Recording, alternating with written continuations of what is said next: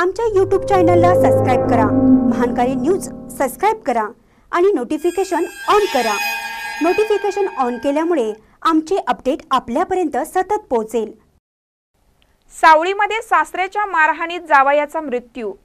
सावळीमध्ये काल जत्रा होती. याच जत्रेसाठी ज्ञानेश्वर आणि गीतांजली बामणे हे दोघे गेले होते.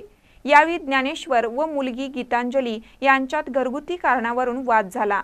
यातून ज्ञानेश्वर यांनी गीतांजलीस मारहाण केली.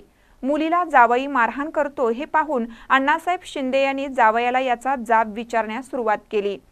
अण्णासाहेब यांनी जावई ज्ञानेश्वर यास डांबाला बांधून मारहाण करण्यास सुरुवात केली आणि या घरगुती वादातून पतीचा मृत्यू झाला आहे. तर जावयाने केलेल्या मारहाणीत मुलगी गंभीर जखमी झाली आहे. ही घटना शुक्रवारी मध्यरात्री घडली.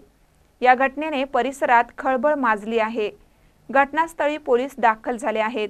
याबाबतचा अधिक तपास सुरू आहे.